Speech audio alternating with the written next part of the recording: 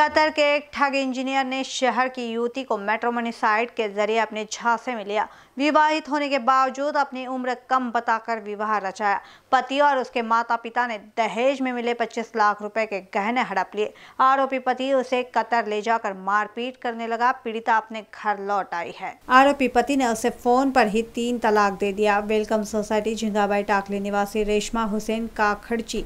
उम्र तीस की शिकायत पर मानकापुर पुलिस ने मामला दर्ज किया है। आरोपियों में आईबीएम रोड, पुणे निवासी हुसैन इस्माइल काखड़ची, उसकी माँ राशिदा, मुंबई में रहने वाले रिश्तेदार रेशमा अज़ीज़ अडवाकर और अजनी अडवाकर का समावेश है। रेशमा फ़ैशन डिज़ाइनर है।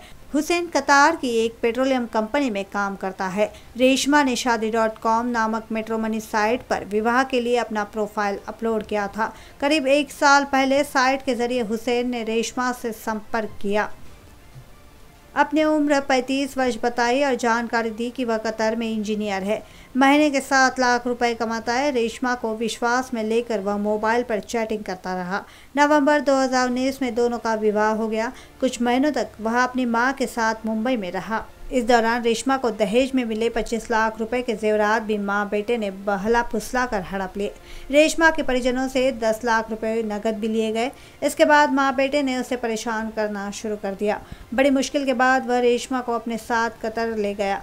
वहाँ जाते हुसैन के तेवर बदल उसने रेशमा के साथ मारपीट शुरू कर दी और घर में बंधक बनाकर रखने लगा। वहीं पर रेशमा को पता चला कि हुसैन पैंतीस नहीं, बल्कि 48 वर्ष का है। उसके पहले भी शादी हो चुकी है। पहली पत्नी दो बच्चे के साथ ऑस्ट्रेलिया में रहती है। जवाब तलब करने पर हुसैन की प्रताड़ना बढ़ती गई। लॉकडाउन के समय किसी तरह रेशमा नागपुर लौट आई। परिजनों को आप बीती सुनाई। इसी बीच हुसैन ने रेशमा को कतर से फ़ोन पर तीन बार तलाक तलाक बोलकर रिश्ता तोड़ लिया। रेशमा ने मामले की शिकायत मानकापुर पुलिस से की है। पुलिस ने विविध धारा के तहत मामला दर्ज कर जाँच शुरू की है। असमद खान यांनी पोलीस स्टेशनला तक्रार दिली की दोन हज़ार एकोणीसमध्ये एक Shaadi dot com Shaadi dot com बस आरोपीने स्वतःचे प्रोफाईल अपलोड करून यांच्याशी संपर्क साधला. फिर्यादीसोबत आणि त्यांच्यात मैत्री जुळली आणि त्यांनी लग्न प्रपोजल प्रपोज केलं लग्नासाठी. त्यावरून त्यांचे नातेवाईक यांच्या घरी आले. त्याची आई बहीण जवाई आणि आरोपी. मग यांचं लग्न ठरलं. आरोपीनं त्याच्यासोबत लग्न केलं. लग्नाच्या मध्ये हुंडा पद्धतीचा कमीत कमी पंचवीस लाखाचे दागिने दहा हजार नगदी असे पस्तीस लाखापर्यंत मालमत्ता त्याच्याकडून घेतली.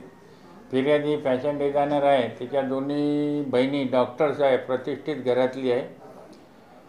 फिर्यादीला त्यांनी चुकीची माहिती दिली की मी नागपूर भारताचा नागरिक आहो. तसा तो ऑस्ट्रेलियन नागरिक आहे. ऑस्ट्रेलियाचं नागरिकत्व स्वीकारलं आहे तिथंसुद्धा त्याचं लग्न झालं आहे त्याला दोन मुलं ऑस्ट्रेलियाची बायको आहे त्याची.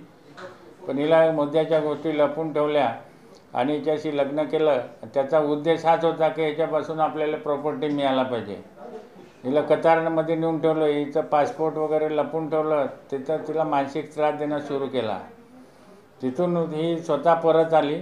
लॉकडाऊनच्या पहिले येत असताना हिला तू पळून गेली आता तुझ्याशी माझे रिलेशन संपले तलाक तलाक म्हणून तिला मोबाईलमध्ये सांगितलं. आणि हिच्याजवळचे सर्व दागिने जे काही होते हिच्या अंगावरचे तिच्या आईने आणि बहिणीने आणि जवाईने काढून घेतले ना पुन्हा येते तर अशा पद्धतीची जी फसवणूक केलेली आहे त्यावरून पोलीस स्टेशनला कलमाप्रमाणे गुन्हा दाखल झालेला आहे. बड़ा पर्सन वीरेंद्र खोबरागड़े के साथ क्षितिजा देशमुख की report in B news Nagpur.